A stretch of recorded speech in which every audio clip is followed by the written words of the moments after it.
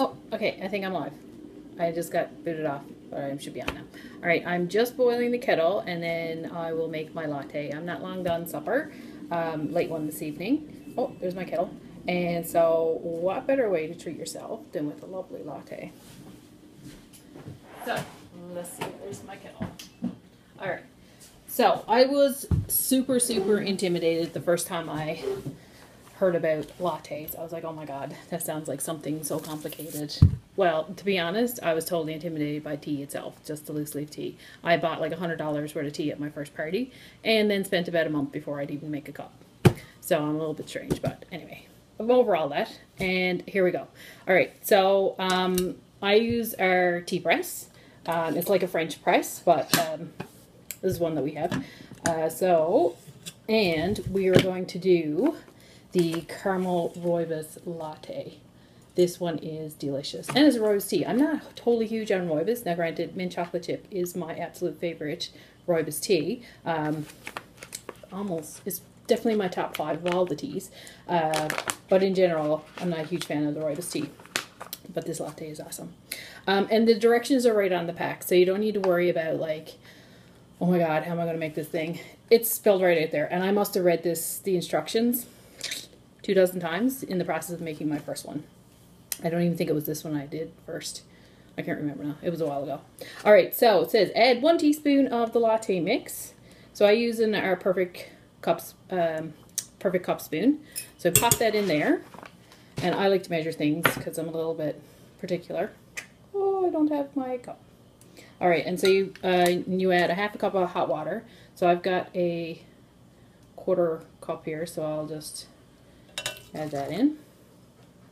Two of those, that's half a cup. All right, and then I'm going to, there's like little slits there so you can just have that lined up with the spout. So I'm just going to leave that steeping like that.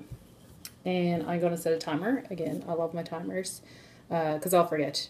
And then um, uh, I just, I just, I'm very particular. So the, this one is a four minute steep. So there we go.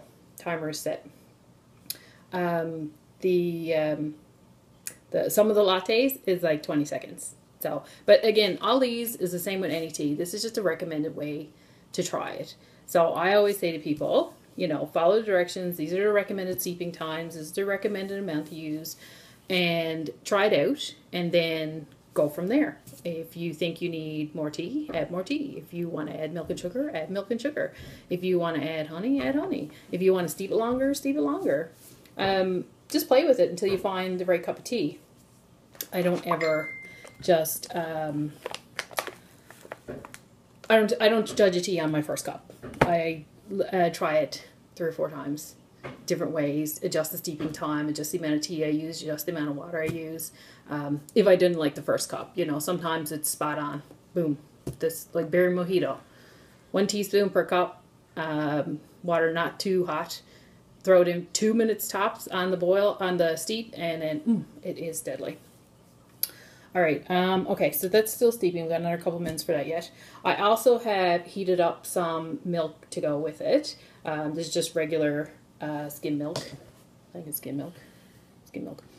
Um, to so it doesn't cool it down, right? So it's nice and heated. So when I add, because I'll add the latte, I'll uh, I'll take the the tea out of here and add milk to it, and then I froth milk on top, and then I got a sugar shaker to put on top of that.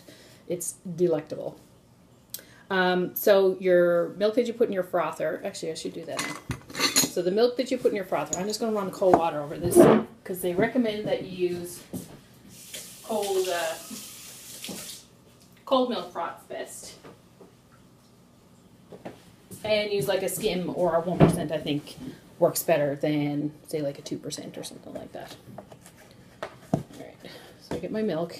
I'm going to put a quarter of a cup, which should be more than enough. That's probably more, uh, more milk than I'll need. That'll froth up quite a bit. Alright, and so I'm using our stainless steel frother. Has a little thing like this, a little plunger. So I pop that in there and then I just do this. And I just keep doing this. I usually do this for a couple minutes. The kids love it when I do this because they're like, can I do the thingy? Can I do the thingy? So I usually do my dirty work for my for frothing my milk. They just sit there and go crazy with it. I'm like, no, go faster, go faster. They love it. They think it's awesome. I still got like a minute on my tea. So we're almost done. Like it doesn't take long to do these lattes. By the time you do your milk and you whatever, and like I said, this one is a longer steep, but I think it's because it's a rooibos. When you usually do like a five six minute steep on the rooibos, so this one is uh, takes a bit longer. Look, see the, the milk is already coming up through. Ooh, look at that. Can you see? Hard to get the angle.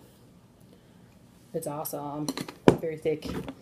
Awesome. This frother is awesome. I have a friend of mine who uh, had uh, like an electric frother, I think it was, and so she had a, a tea party just so she could get this frother. That was her main goal of the tea party to have enough in sales so she could get the frother for free because she was here for uh, a latte. I believe she was here for my first one, and um, she uh, when she seen how well this one frothed up the milk, she was like, "Oh my god, I needs that frother." It's I believe it's forty dollars. I could be wrong.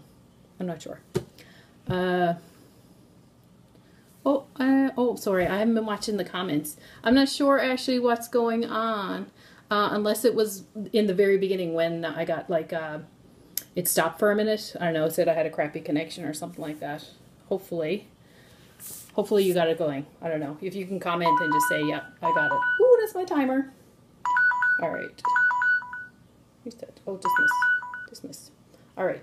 Okay, so that means my latte's done. So I just pushed the plunger down and there's a really fine mesh on this one. It's the same as the one that's in the sweet tea pitcher.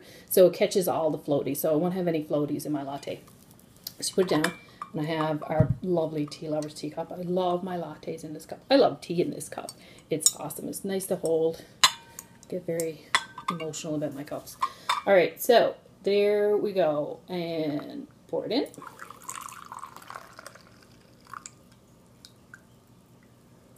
Every last goodness drop. There we go. All right, so that's it there. You only use a half cup. And then you put your warm milk in. This cup is like the perfect size to do a cup. This is 10 ounces, so uh, it's it is literally the perfect size for for this for this uh, latte because you do you have just enough room to put your frothed milk on top. So I'm just going to give it another, another pump. All right. Like, look at that. Can you see? Look how thick that is. Look. Whoop. Whoop. Let's lay that in the cup. Whoop. All right. You gotta scoop it out because it's that awesome. So you put your frosted milk on top.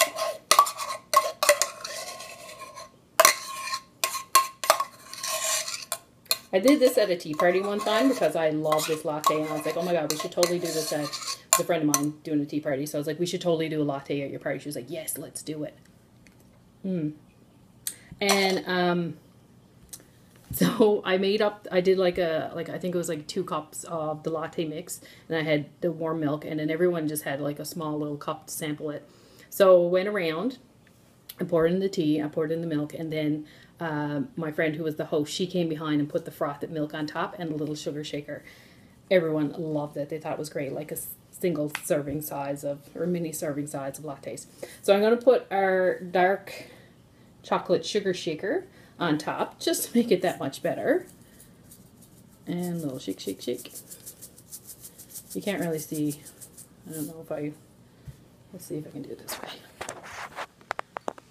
Ooh, there we go. There's the latte. Mm. So that's it. Your latte's done and ready to drink. Look at that. Mm. Perfect. You can do like the milk mustache with this too because the frothed milk is so thick. I just managed to get it away.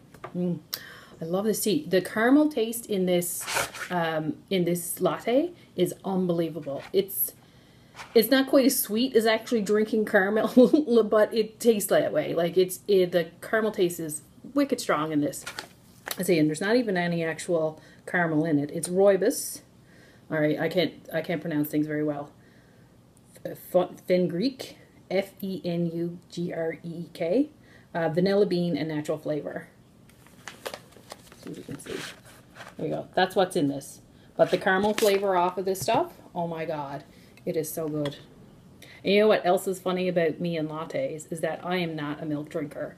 I gave up milk, I think, if you ask mom, I was like six months old, refused to drink milk anymore. Rarely drink milk. I do not like creamy, um, know I do like ice cream, but I don't like uh, like salad dressings and creamy stuff like that. Uh, so, and I think that might have been another reason why I didn't want to try a latte, just because I know there was milk involved, and I'm not a huge milk drinker. And I mean, this is half milk, even more than half milk with the frothed milk on top, but it doesn't really taste like milk. And I don't know if it's just the flavor from the latte. I don't know. It's just so good, and I uh, I love doing lattes. And you can do any of our teas as a latte. Pardon me. Um, I think you just reduce the steeping time. Maybe just do it. I don't know. Maybe just to make a regular cup of tea and you add milk. I'm not a latte expert. I follow the directions on the bag. That's how I get my lattes out. I see Krista, she uh, comments, says, looks so yummy. It is. It is delicious. Look, you can see the, so good. I have a little bit. All right, so while I'm here, oh, Kelly, I got my latte done. Um, I'm all done now, but um, I can answer some questions. I think I'm going to come on again later on tonight. The kids are, are still down at their aunt and uncle, so I've got a little bit of quiet time in the house, so I figured this was a good time to do it. And I wanted it after my supper, so this is where I'm going. Um, yeah, I don't know. And uh, I don't think Jill is on here. But uh, I know some people have been asking about matcha. Matcha is so good for you. Well, I can't, uh, technically, I can't make any health claims. So I can't say, oh, drink matcha and you'll do this or this will happen for you. Or, you know, um, it's, I don't know how it'll be. But uh, Kelly said you're making me want one.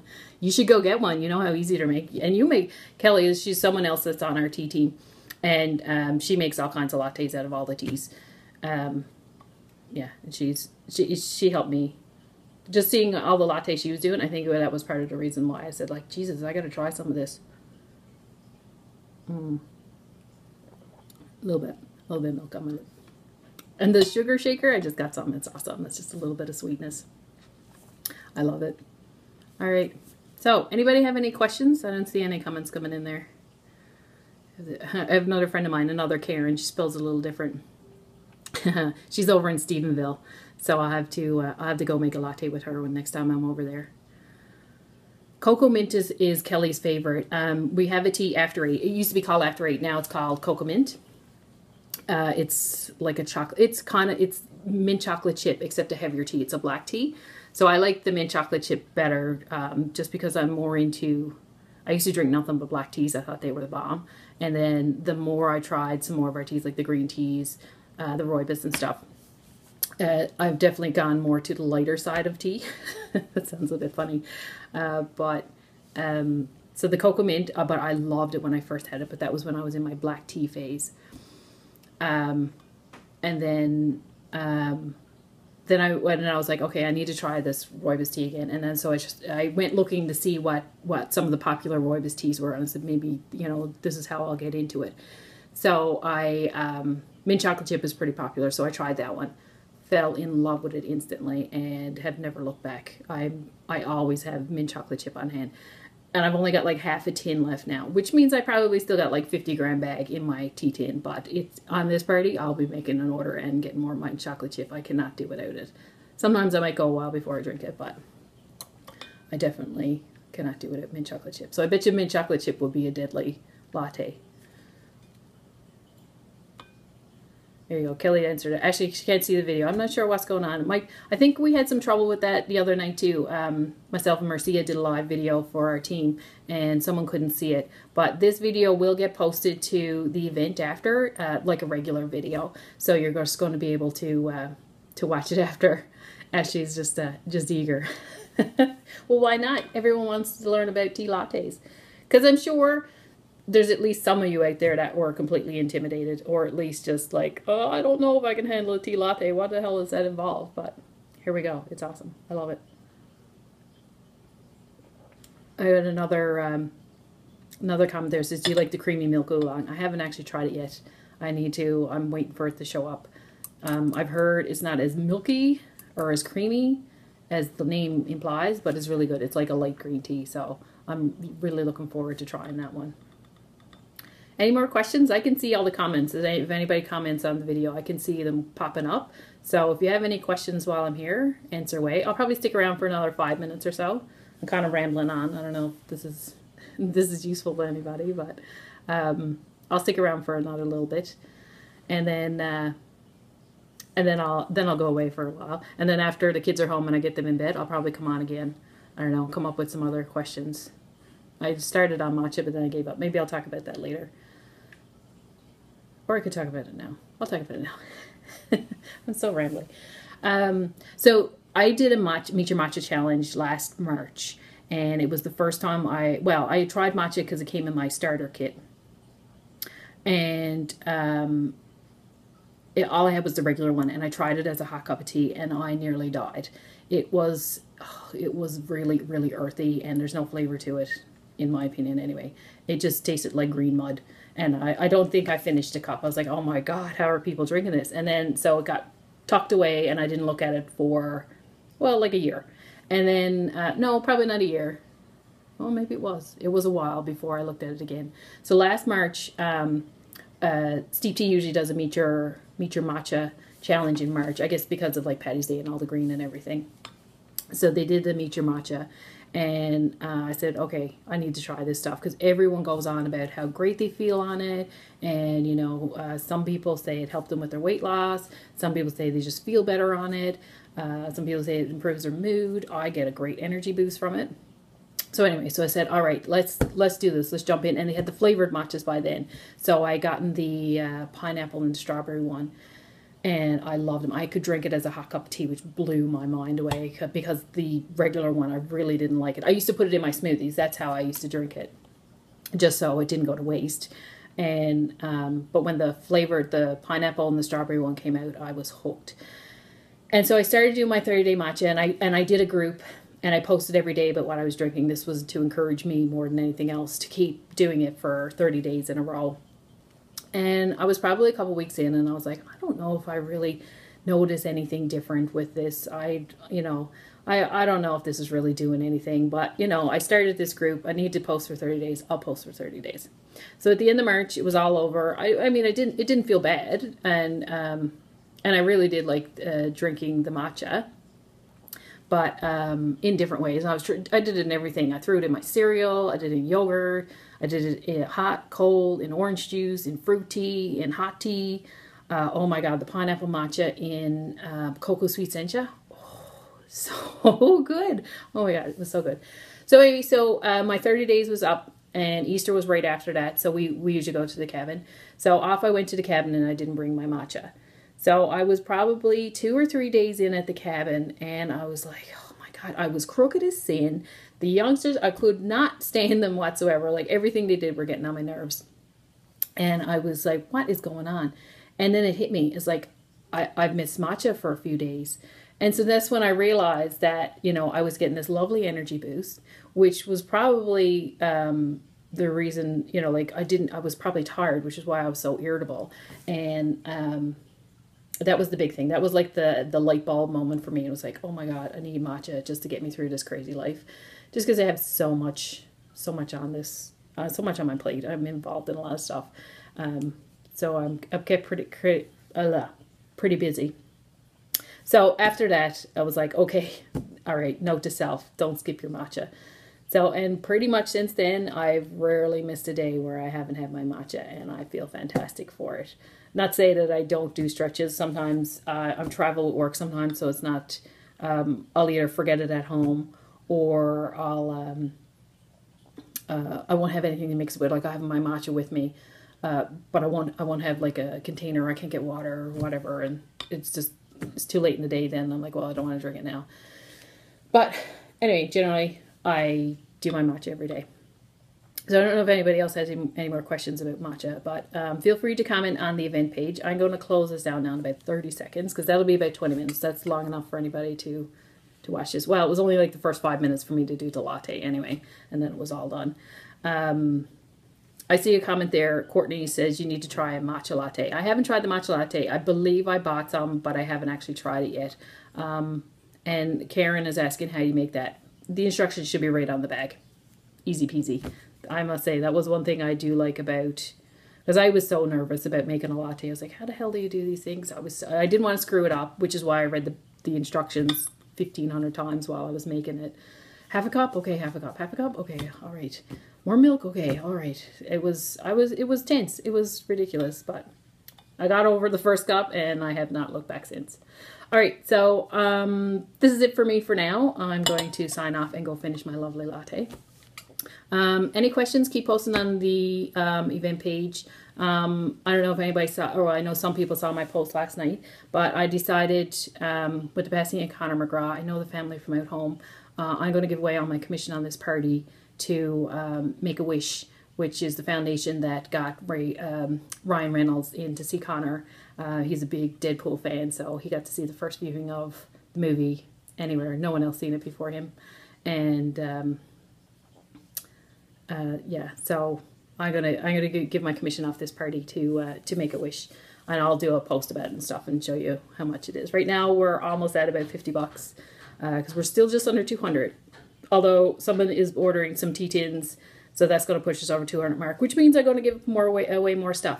Um, Oh, and I see Karen, she's asking about the matcha and the cocoa sweet sencha. I just made, um, I used to take it to work with me, my matcha, and I'd always have a pop top tumbler full of whatever tea I was drinking for my first cup of tea in the morning.